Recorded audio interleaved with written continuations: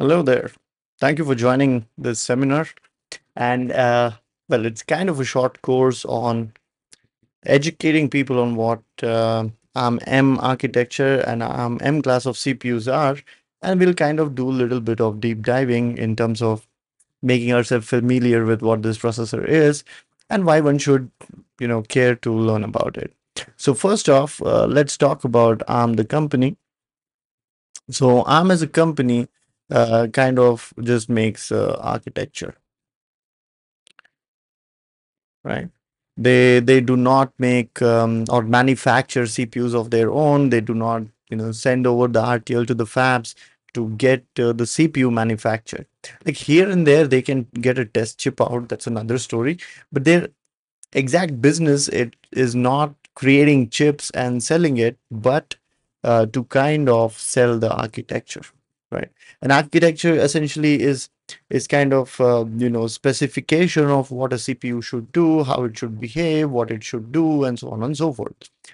Um, and there are other companies, other semiconductor companies like NXP, TI, uh, you know, STM.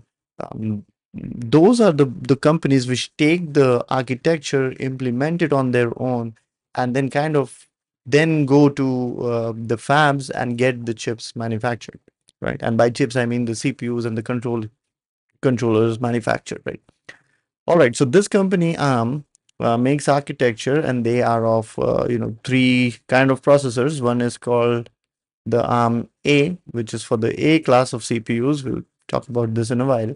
And then there is the R class CPUs, and then there is the M class CPUs. So today, what we are going to study corresponds to the M class of CPUs, and why we chose this CPU over others. Uh, that becomes evident in a while. But M class of CPUs is what we will focus on. All right. So what is A, R, and M then? So A is the application application grade processor and this is the processor that's capable of uh, or this is the architecture for a processor that's capable of running operating systems like linux uh, in case of uh, you know um, um, apple it also runs mac os and then there are efforts for running uh, windows on arm as well uh, right windows for arm so the M1, M2, M3 line of processors or SoCs from Apple, they are based on the ARM A class of CPUs, right? So the uh, well, the application class essentially you can imagine that it can run an operating system and run applications like Chrome browser, you know, Photoshop, Microsoft Word, so on and so forth, right? It's it's built or targeted towards that.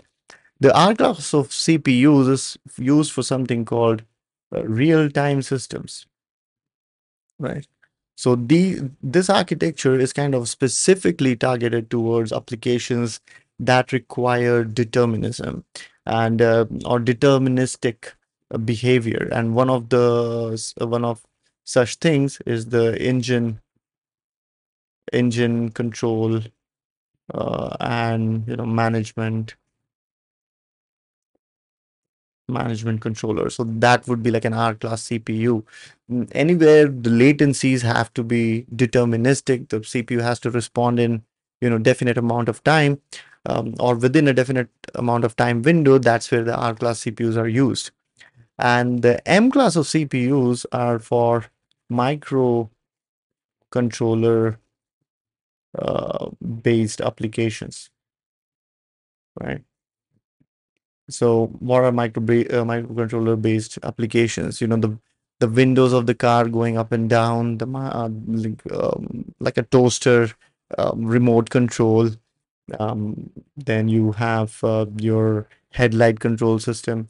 So those kind of things, the M class CPU is used at, and you know I couldn't list as many, uh, but these are like scattered around like salt, uh, salt or sand. These are like that common.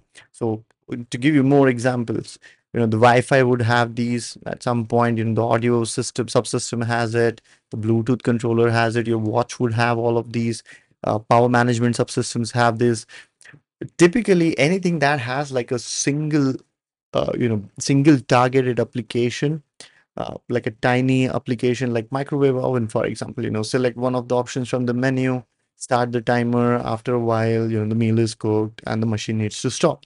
So that kind of a thing uh, is kind of better built on the m class cpus right? And that's why we have targeted the m class cpus because these would kind of uh, you know make you an embedded software engineer um, capable of contributing on a team way faster than the other would. And the architecture is also you know simple to understand. It's straightforward. Uh, there are certain things that a software engineer embedded software engineer should know. And uh, it's easy to kind of nail those down in m class cpus so hopefully in this video you understood what arm as a company is. They just make architecture and then they have three types of architecture that concern to that you should or you know the general embedded system engineer should know about the A class, R class, and the M class. The M class is what we focus on. And in the next video, let's talk about, you know, again, more about uh, the microarchitecture and architecture, right? As uh, it corresponds to the M class CPUs.